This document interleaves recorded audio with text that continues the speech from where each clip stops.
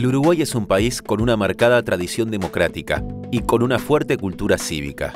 En su corta historia, cuenta con un desarrollo organizativo de su sociedad civil muy importante.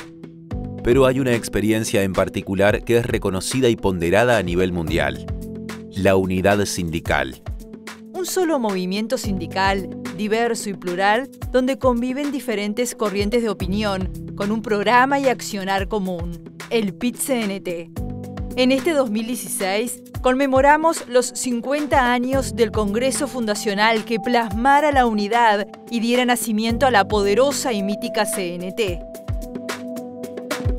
El PIT-CNT, lejos de ser una mera estructura, es el resultado de ideas, de principios, de la lucha, de la vital necesidad de la unidad y sobre todo de la imprescindible creación de los instrumentos que permitan la construcción de un mundo mejor.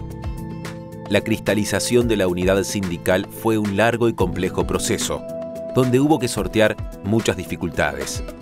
Pero la lucha por los derechos sindicales contra la congelación de salarios, por fuentes de trabajo y leyes laborales, fueron confluyendo a mujeres y hombres, trabajadores organizados en el camino de la unidad.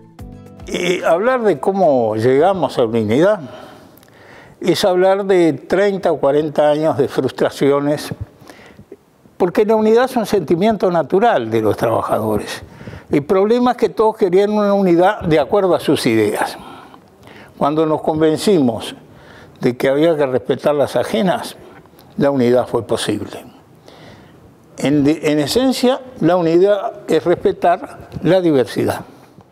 Luego de idas y venidas, de muchas horas de discusión y cabildeos, de asumir la necesidad de construir una poderosa organización sindical y, por lo tanto, ceder en posiciones para concretar el objetivo, se desarrolla entre el 28 de septiembre y el 1 de octubre de 1966 el Congreso de Unificación Sindical.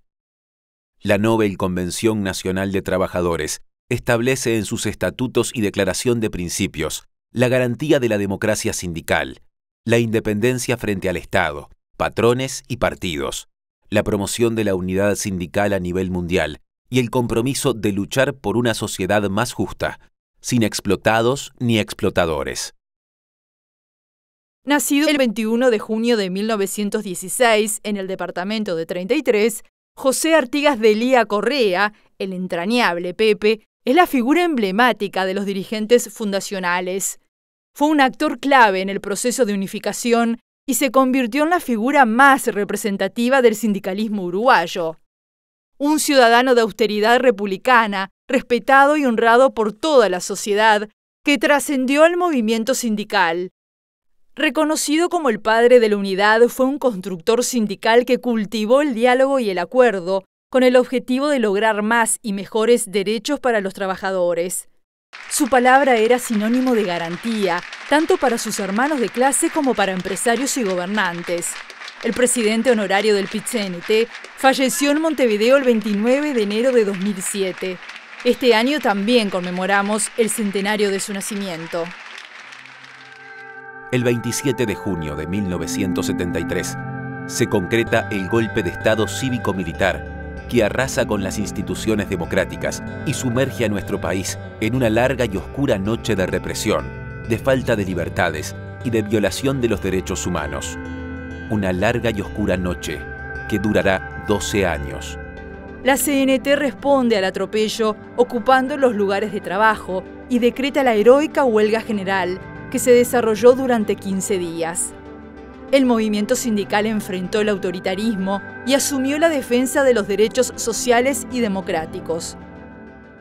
Bajo el marco legal de una ley de la dictadura que permitía la creación de asociaciones profesionales, para el año 1983 existían unas 37 organizaciones conformadas que se fijaron como objetivo realizar un acto el primero de mayo.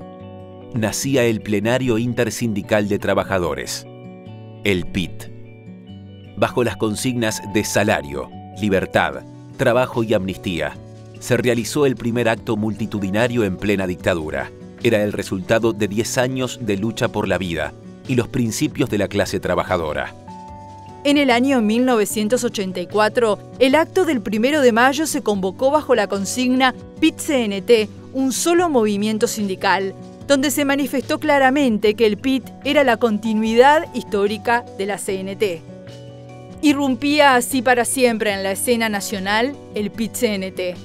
Unidad histórica que celebramos y que conmemoramos, pero que tiene alto valor estratégico y enormes perspectivas de futuro unidad de los trabajadores para mejorar su vida, pero unidad también con los estudiantes, con las capas medias, con el mundo universitario, con los sectores laboriosos de la ciudad y el campo, porque en nuestro país las herramientas de la unidad son las que nos permiten avanzar frente a un capitalismo cada vez más concentrado y desigual hacia una sociedad mejor. En 2005, con el ascenso de un gobierno de izquierda, se reinstalan los consejos de salarios y se produce un crecimiento formidable de la afiliación sindical. Se empiezan a cristalizar una serie de conquistas en materia de derechos y de normativa laboral, la protección y promoción de la libertad sindical, la ley que regula el trabajo doméstico o la ley que limita la jornada para los trabajadores rurales, así como un importante número de normas que regulan derechos en materia de protección y salud laboral. Son ejemplos de los avances y conquistas de la clase trabajadora. Hoy el PIT-CNT es la organización social más grande del país, con más de 70 filiales que representan a más de 400.000 trabajadores y trabajadoras. Son 50 años de unidad, cuatro generaciones que la construyeron. Unidad que ha servido para ser solidarios con los que más necesitan, para luchar y para comprometernos para una sociedad más justa. Son logros, son esencia, es compromiso, son ideas y sobre todo la convicción de que unidos hacemos historia.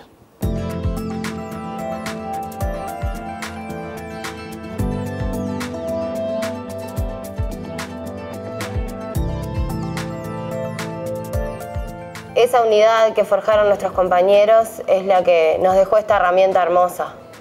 Queda mucho todavía por construir y nosotros estamos convencidos de que lo vamos a poder hacer exactamente igual con la misma unidad que ellos nos dejaron.